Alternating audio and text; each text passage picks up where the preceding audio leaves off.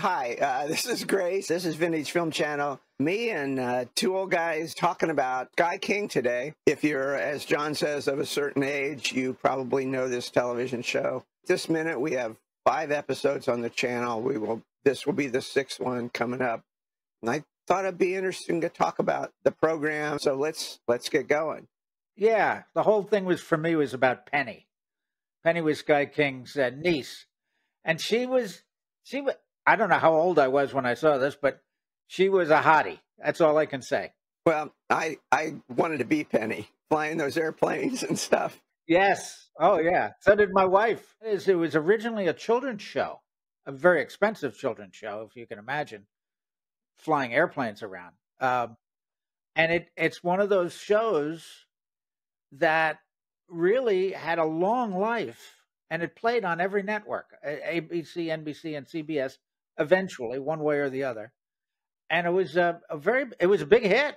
And I like Sky King as much as I like Penny, although she was cute. Okay. And Clipper was kind of nice too.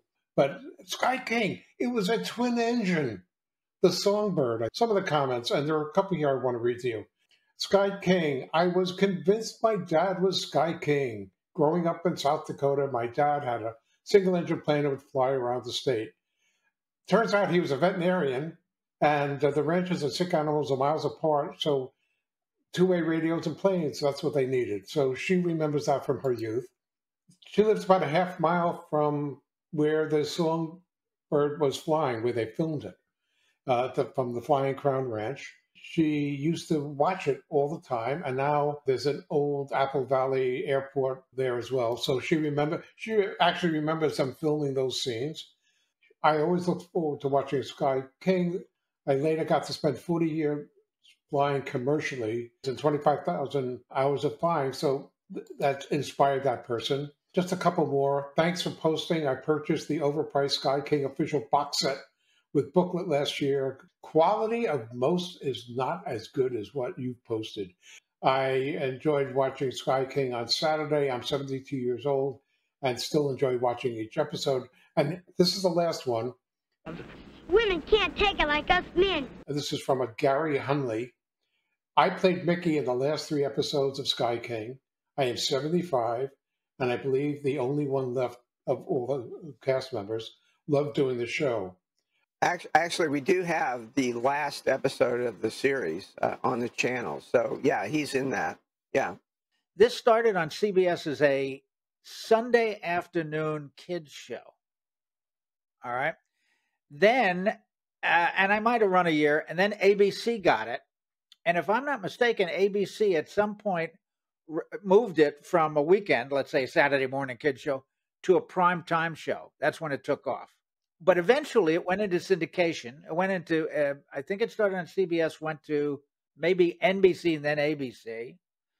And it went into syndication where it lives forever. Syndication is where any individual station can buy it and play it anytime they want, as opposed to the network sending it from New York and everybody playing at the same time. One of the things that I found fascinating was that it was a very expensive show and I think the reason they moved it to prime time, quite frankly, is because it was expensive to do. All these airplanes flying around gas. It was shot mostly in, quite frankly, in Hollywood in a studio. Um, and the airport that lady talked about, Apple Valley, is just, you know, maybe 30 miles, but it's over the Hollywood Hills into the desert. And that's where they shot all the, the flying scenes and the desert scenes. But it was very realistic in the sense that they really had the Cessna planes. They really did taxi them back and forth, and so there was a lot of, um, for the time, more realistic action because they used real airplanes, right? And they would shoot them up in the air and they'd taxi them around. Um, and because the whole idea was that Sky King was a an Arizona rancher, he didn't have uh, airports to go to. He would always have to rescue Penny from somewhere in the desert they the first pilot they hired for the series to run the airplane to you know land and save Penny, he couldn't do it. He wasn't qualified. He couldn't land in the desert. So they got the sales manager for Cessna. He could he could land a plane anywhere, and he became the regular the regular guy who would could land this in front of the camera in the desert. This, I just thought was cute. Thanks for joining us, and we'll see you next time. Everybody wave goodbye, and we're going to turn the recording off about right now. Out of the clear blue of the western sky comes Sky King, brought to you by Nabisco, National Biscuit Company.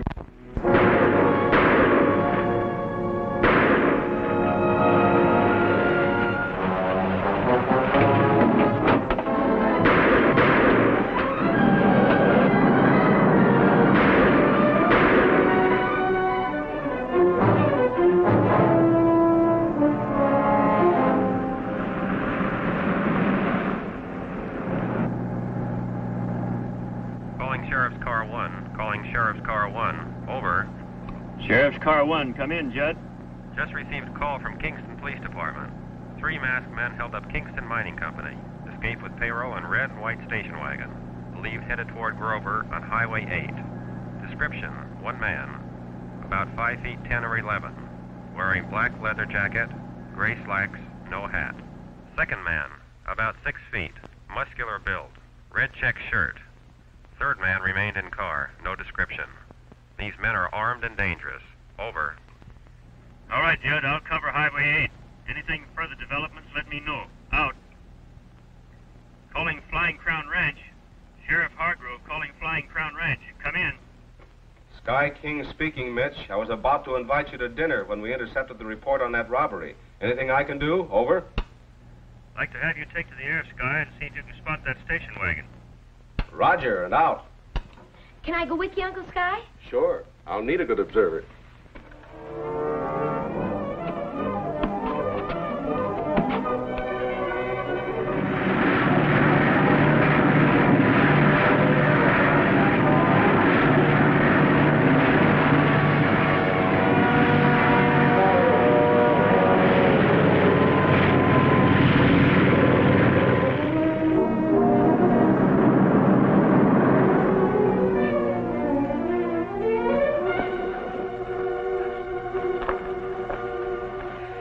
Time to run out of gas. Ah, shut up and push.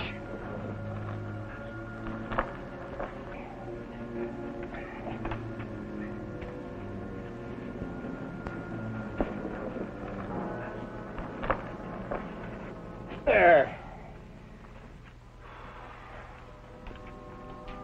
That ought to keep it hidden from the road. What are we going to do now? Strike out on foot and find a spot to hole up in until the search dies down. What about food and water? If we don't get out of here quick, you'll get your food and water in a federal prison.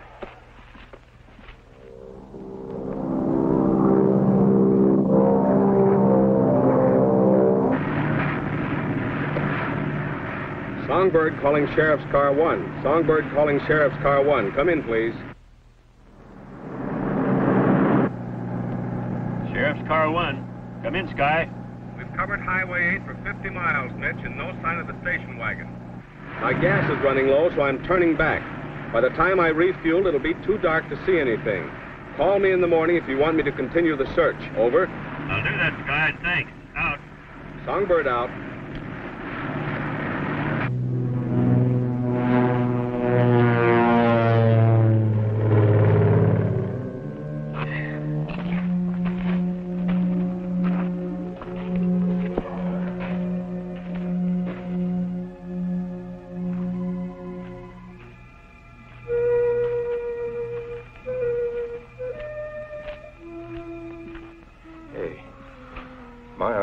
Tricks on me or those two horses over there? They ain't. I'm seeing things too. Same here.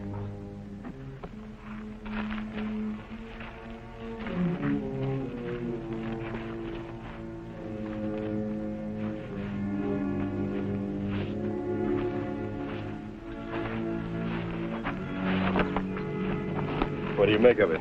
Two horses, two men, huh? No, only one man. This horse is for packing supplies in. I hope the supplies include food. Is that all you ever think of?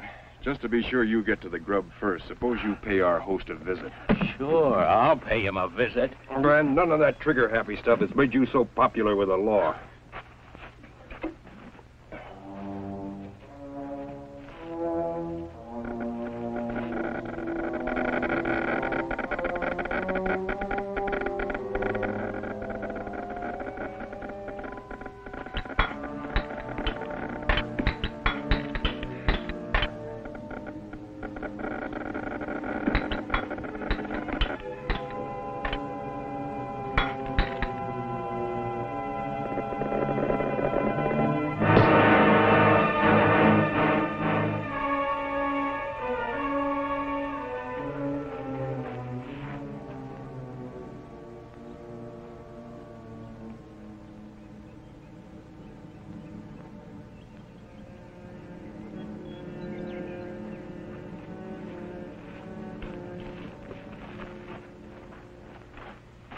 Took care of him. Good. Temporarily, of course.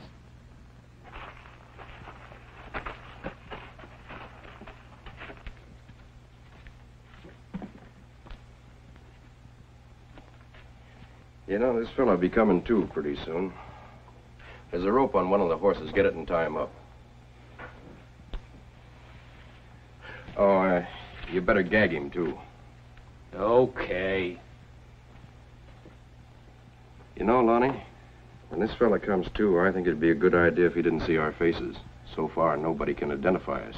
You know, I've been thinking along the same lines. We'll let Carl do all the tending necessary to this guy.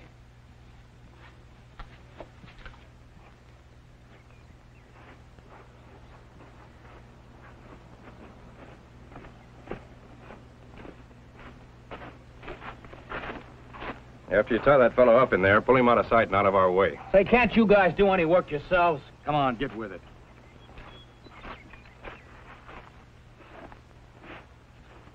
There isn't any grub in this pack. Doesn't look like he planned on staying here long. He wasn't planning on staying, then somebody's going to be expecting him back pretty soon. Yeah, I think tonight's about as long as we better plan on using this place.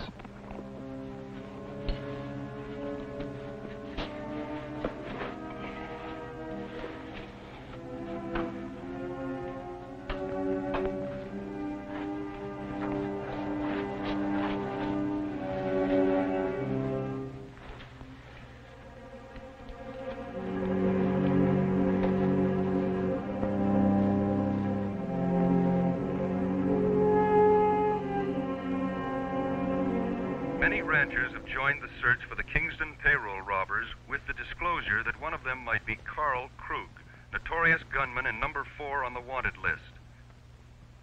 Today in New York, the UN met in general session. The delegates approved the agenda for the following week. I wonder where those robbers have disappeared to. If I knew that, Penny, I wouldn't be sitting here keeping it a secret. You know what I think? I Flying Crown Ranch. Oh, hello, Mitch. Anything new? Sure, I agree with you. They could have doubled back and gone in any direction. In the morning? Sure, I'll stay close by. Just give me a call. Right. Good night.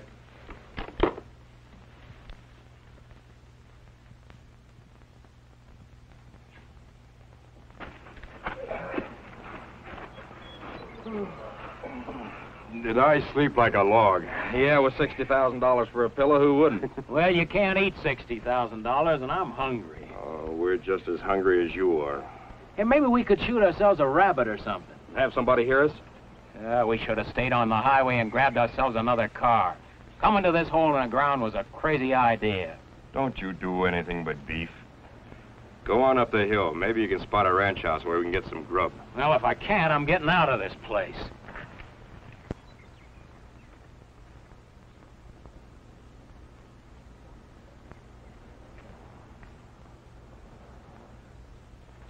What's up? You know, Lonnie, I've been doing a lot of thinking lately. Such as? Such as I'm tired of hearing Carl complain. And such as this money would look a lot better split two ways. Three. How do you plan on going about it? Well, when Carl gets back, we'll tell him that we're going to ride into town for supplies and leave him here to watch our boy. Then we don't come back. That's for me. I figure we're about 12 miles from the town of Grover. We can take the horses and ride in there and catch the first bus out of town. We better take the money out of this bag. Put it in the saddlebag before Carl gets back. Yeah. We'll stuff some paper in it and leave a few bills scattered on top just in case he decides to look in.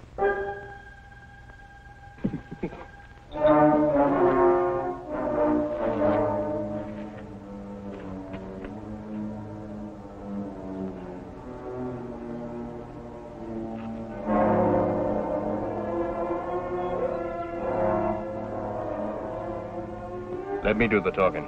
Okay.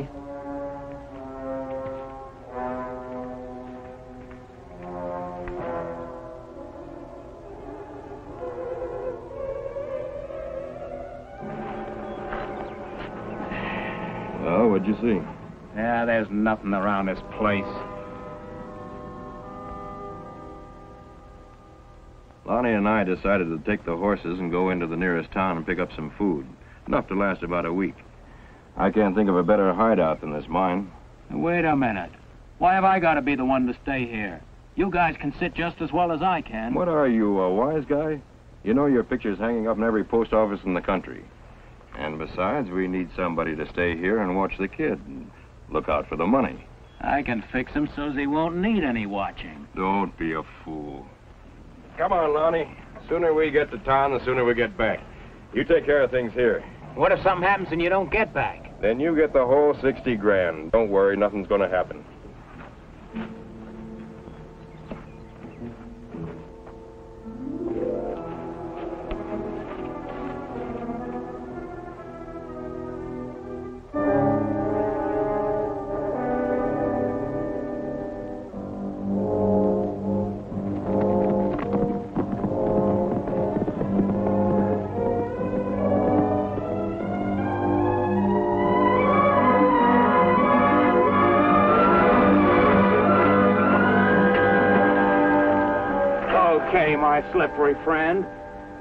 Time we'll tie you so you won't get loose.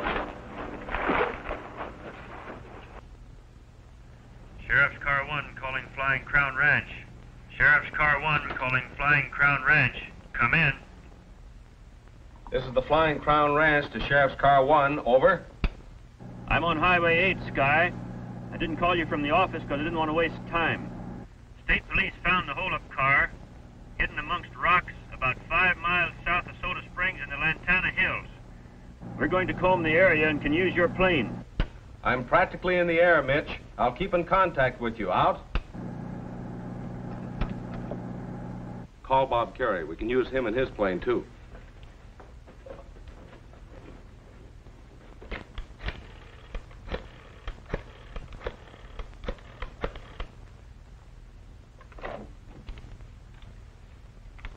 Hello, Helen? This is Penny. May I speak to Bob, please? He's not there? He what? Didn't come home last night. Well, yes. Yes. I remember he said something about it, but. Where? Are you sure? Well, naturally. Well, look, Helen, I'll talk to you later. Bye. What did they say about Bob? He was supposed to come home last night, but he didn't. His parents are really worried. Well, I heard that. Did they know where he went? Prospecting for uranium around the old Foster mine in the Lantana Hills. I'm going with you. No, you're not. Bob's my friend, too. I'm going with you. All right.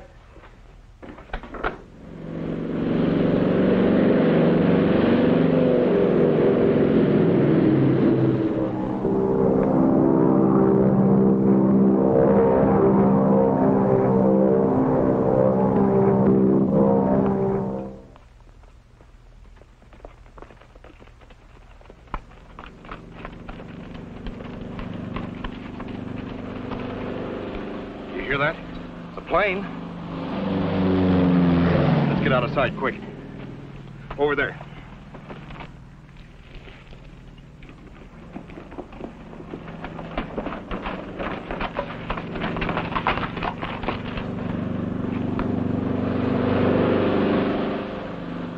You sure believe in playing it safe? That plane was too low for a routine flight. Could be an air search, you know. Yeah, I never thought of that. We haven't got too far to go. We better knock on it.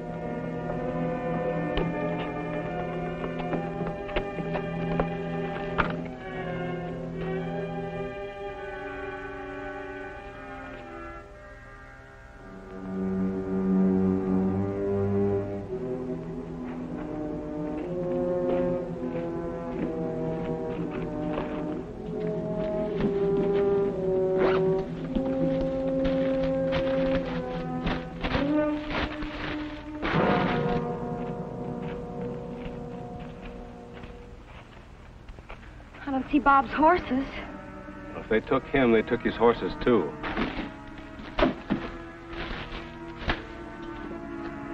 I'll go have a look around. You stay here.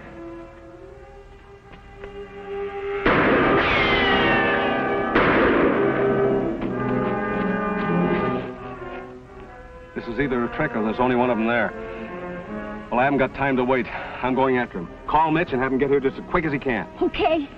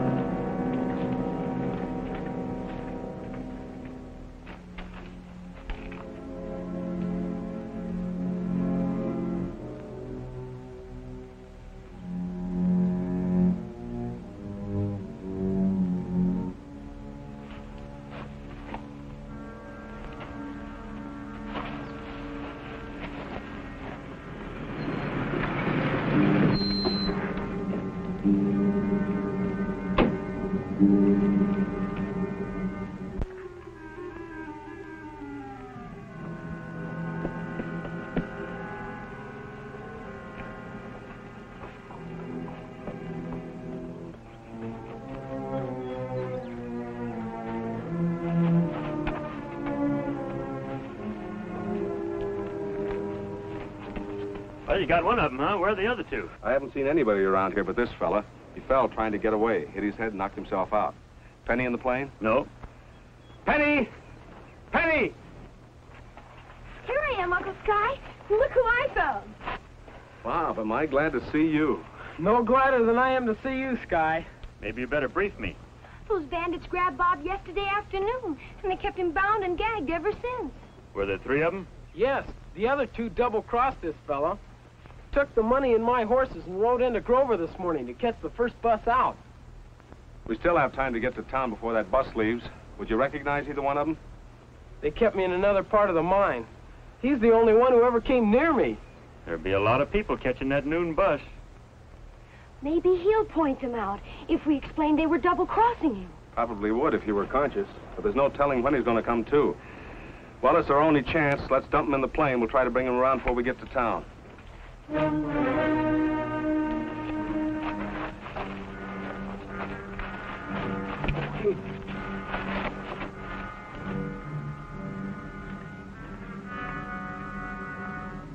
almost forgot my Geiger counter. Be with you in a minute. I better radio what's going on. Calling Highway Patrol, car 21. Climb up on the wing, Bob, and give me a hand. Here, Penny, hold it.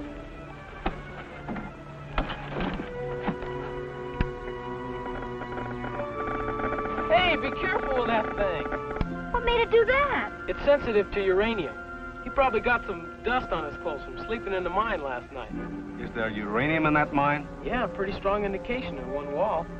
Did the other two fellows sleep in the mine, too? Yeah? Here, Mitch. Take him back to town in your car. I got a better way to spot those two men. You have? How? With a Geiger counter. Let's go.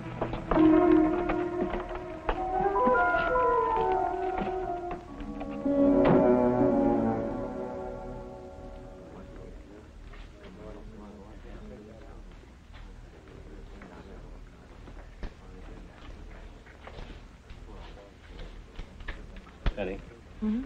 sit down on that bench and stay out of trouble. Okay.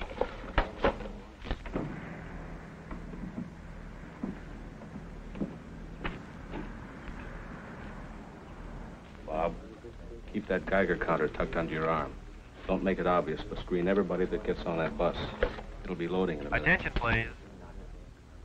Passengers departing for Middleton, Carrollton, and Point C can now board the bus. All aboard. How long have you been president of the Grover Flying Club? A little more than a year. How many members do you have? About 40, but only four planes. What's the purpose of the club? To promote flying, to aid...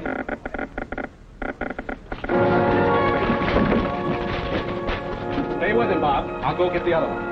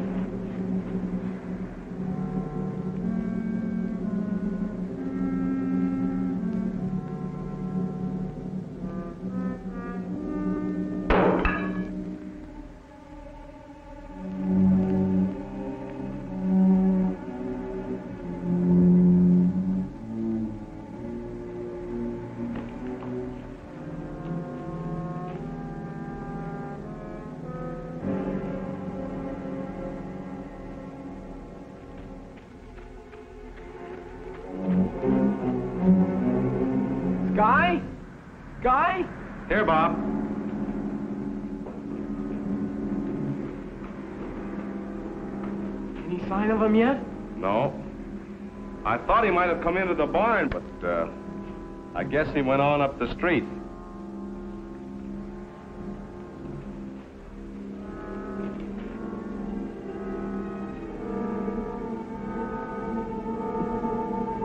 What'd they do with the other fella? The sheriff drove up and took him to jail. Well, I guess we better get back and organize a search of the town.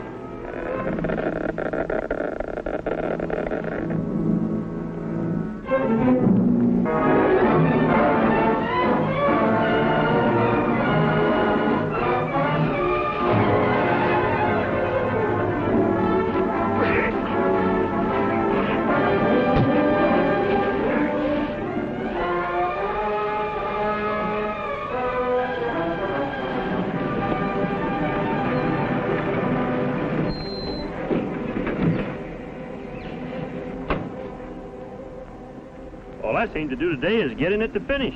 Well, it's the finish that counts, Mitch. And I'm glad this was a good one. Me too. Yeah, It's good to relax. It was a wonderful dinner, Sky. Well, I'm glad you enjoyed it. I did, too. That Penny's a good cook. You bet she is. Coffee, Sheriff. Thank you. Thanks, hon. Some milk. Thanks, Penny. You know, I haven't thanked you yet, Sky, for coming to my rescue. I haven't thanked you for grabbing those two men and saving that payroll. And I haven't thanked you for a real exciting day. Well, thanks for all the bouquets, but it seems to me that the real hero is our little friend here.